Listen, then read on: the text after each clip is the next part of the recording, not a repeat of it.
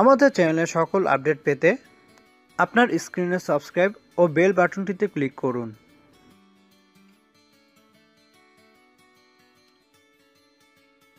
সাধারণত সাঁত্রিশ থেকে চল্লিশ সপ্তাহের মধ্যে বাচ্চা নর্মালে প্রসব হয়ে থাকে। গর্ভাবস্থার উনচল্লিশতম সপ্তাহে অনেক গর্ভবতী মাই হয়তো সোনামণির মুখ দেখে ফেলেছেন। যাদের বাচ্চা প্রসব এখনও হয়নি তারা চিন্তিত না হয়ে আরও সপ্তাহখানিক অপেক্ষা করুন। সাধারণত, যারা প্রথম মা হতে চলেছেন, তাদের ক্ষেত্রে বাচ্চা প্রসবের সময়টা বিলম্বিত হতে পারে। এ সময় আপনার স্বামীর বা পরিবারের ভূমিকা কি? এক, হাসপাতালে বাচ্চা প্রসব। অনেকে কোনো রকম বাড়তি ঝামেলা বা রিস্ক না নিয়ে হাসপাতালে বাচ্চা প্রসব করাতে চান। যদি বাচ্চা হাসপাতালে প্রসব করাতেই চান, তাহলে আগে থেকেই কেবিন বুকিং এবং যাবতীয় জিনিসপত্র বেগে গুছিয়ে রাখুন। প্রয়োজনীয় ফোন নাম্বার সংরক্ষণে রাখুন। দুই, বাড়িতে বাচ্চা প্রসব। অনেকে বাড়িতে বাচ্চা প্রসব করাতে চান। বাড়িতে বাচ্চা প্রসব করাতে হলে অবশ্যই প্রশিক্ষিত দাত্রীর খোঁজ করুন। প্রসবের জন্য প্রয়োজনীয় সকল জিনিসপত্র জোগাড় করে হাতে নাগালে রাখুন। অনেক সময় বাড়িতে প্রসব করাতে সমস্যা হলে হাসপাতাল বা ক্লিনিকে যেতেই হয়। তাড়াহুড়োর সময় কারও মাথায় তখন কাজ করে না। হাসপাতাল বা ক্লিনিকে যাওয়ার জন্য গাড়ি পাওয়া খুবই কষ্টকর হয়ে যায়। তাই বাড়িতে বাচ্চা প্রসবের বন্দোবস্ত থাকলেও জরুরি প্রয়োজনে হাসপাতাল বা ক্লিনিকে যাওয়ার জন্য গাড়ির ব্যবস্থা করে রাখুন। প্রয়োজনীয় মোবাইল নাম্বার ও গর্ভকালীন চেক সকল কাগজাদি সংরক্ষণ করে হাতের নাগালে রাখুন। তিন, প্রসবের যাবতীয় জিনিসপত্র। প্রসবের সময় কি কি লাগে? অনেকের হয়তো অজানা থাকতে পারে। তাই দাত্রীকে জিজ্ঞেস করে সব কিছু কিনে হাতের নাগালে রেখে একজনের তত্ত্বাবধানে রাখুন। চার। একই গ্রুপের রক্তদাতা খুঁজে রাখা।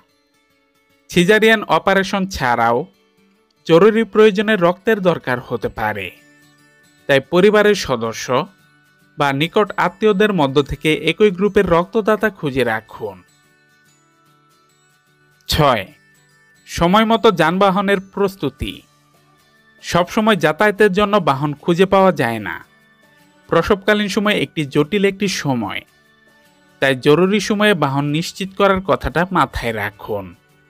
সাত, প্রসবকালীন সময় স্বামীর পাশে থাকা। গর্ভবতী মায়ের ভরসা ও সাহসের কেন্দ্রবিন্দু তার স্বামী।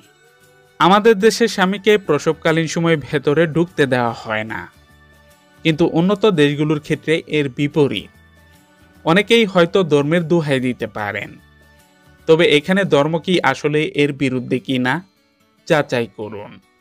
স্বামীর উচিত এ সময় স্ত্রীর পাশে থাকা। গর্ভাবস্থায় যে খাবারগুলো খাবেন না। গর্ভধারণের পরিকল্পনা থাকলে প্রথম থেকে আপনার লাইফস্টাইলে আনতে হবে ব্যাপক পরিবর্তন। এখন চাইলেও আপনার খেয়াল খুশি মতো জীবনযাপন করতে পারবেন না। কেননা আপনার প্রত্যেক কর্ম সম্পাদনগুলো আপনার গর্ভস্থ সোনামণির সাথে অতপ্রতভাবে জড়িত। তাই আপনার জীবনযাপনে আনতে হবে নানা পরিবর্তন। মানতে হবে নানা বাজ বিচার আঙ্গুর ফল। আঙুরে প্রচুর পরিমাণে রেস ভেরাটল থাকে। রেস ভেরাটল রাসায়নিকটি হবু মায়ের জন্য বিষাক্ত হতে পারে। অতিরিক্ত আঙুর খেলে হবু মায়ের পাতলা পায়খানা বা ডায়রিয়া হতে পারে। তাছাড়া আঙুরে প্রচুর পরিমাণে কীটনাশক স্প্রে করা হয়। তাই আঙ্গুর খাওয়া এড়ানো উচিত। তবে সীমিত পরিমাণে খেতে পারেন, তবে না খাওয়াই উত্তম হবে। কাঁচা পেঁপে। পাকা পেঁপে গর্ভাবস্থায় খুবই উপকারী ফল হলেও কাঁচা পেঁপে খাওয়া পুরোপুরি নিষিদ্ধ। কাঁচা পেঁপেতে ল্যাটেক্স থাকে, যা গর্ভাবস্থায় বিপজ্জনক। ল্যাটেক্স গর্ভপাত ঘটায়। তাছাড়া ল্যাটেক্স জরায়ু সংকোচন ঘটানোর মাধ্যমে সময়ের পূর্বে প্রসব যন্ত্রণা শুরু করে এবং সময়ের আগে বাচ্চা প্রসব হয়ে যায়, যা বাচ্চার জন্য হুমকি শুরু তাছাড়া কাঁচা পেঁপেতে রয়েছে পেপাইন। পেপাইনও গর্ভাবস্থায় নিরাপদ নয়। আনারস। গর্ভাবস্থায় আনারস থেকে বিরত থাকতে হবে।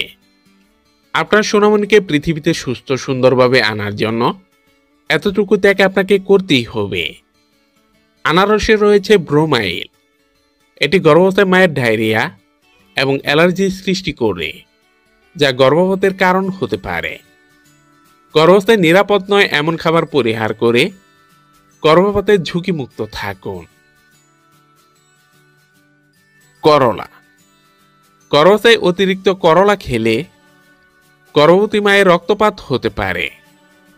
অতিরিক্ত রক্তপাতে গর্ভের শিশুর নানা ক্ষতি হতে পারে।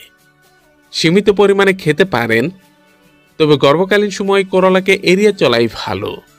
বেগুন। গর্ভাবস্থায় নিয়মিত বেগুন খাওয়া যাবে না। একেবারে খাওয়া যাবে না তা নয়, খাবেন, তবে দুই থেকে তিন দিন পর পর। অনেক সময় গর্ভাবস্থায় বেগুন খেলে অনেকেরই গর্ভপাত ও সময়ের আগে প্রসবের সম্ভাবনা থাকে। আবার অনেকেরই হজমের সমস্যা হয়। সুষম খাবারে মনোযোগ দিন। শিশু সঠিক বৃদ্ধির জন্য দরকার গর্ভাবস্থা মায়ের সুষম খাবার নিশ্চিত করা। গর্ভাবস্থায় শিশু পুরোপুরি আপনার উপরই নির্ভরশীল। কেননা, শিশু তার দেহের ও মস্তিষ্কের সুষ্ঠু গঠনের জন্য প্রয়োজনীয় পুষ্টি উপাদান আপনার শরীর থেকেই গ্রহণ করবে। তাই গর্ভাবস্থায় খাদ্য তালিকায় দিতে হবে বিশেষ গুরুত্ব। শাকসবজি। খাদ্য তালিকায় সবুজ শাকসবজি নিয়মিত রাখুন। এতে প্রয়োজনীয় পুষ্টি, ভিটামিন ও মিনারেল প্রাকৃতিকভাবে মেটাতে পারবেন। ফলমূল। খাদ্য তালিকায় মৌসুমি ফলমূল তো রাখবেনই। সাথে আপেল, কমলা, তরমুজ, কলা রাখতে পারেন। এগুলো আপনার গর্ভকালীন শারীরিক ঘাটতি মারতে সাহায্য করে।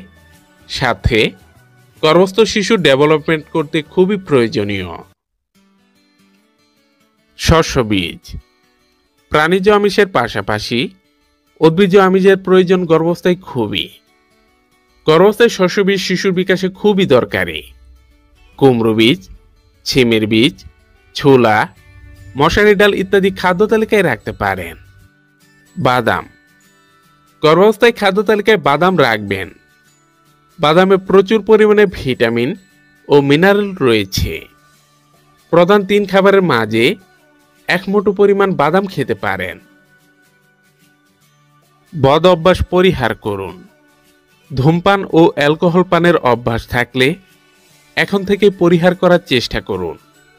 গর্ভধারণের পর একেবারে পরিহার করুন। নিজের এবং পরোক্ষ ধূমপান উভয় গর্ভাবস্থায় ক্ষতিকর। গর্ভপাত ও অকালে শিশুর জন্মের অন্যতম কারণ ধূমপান ও মদ্যপান।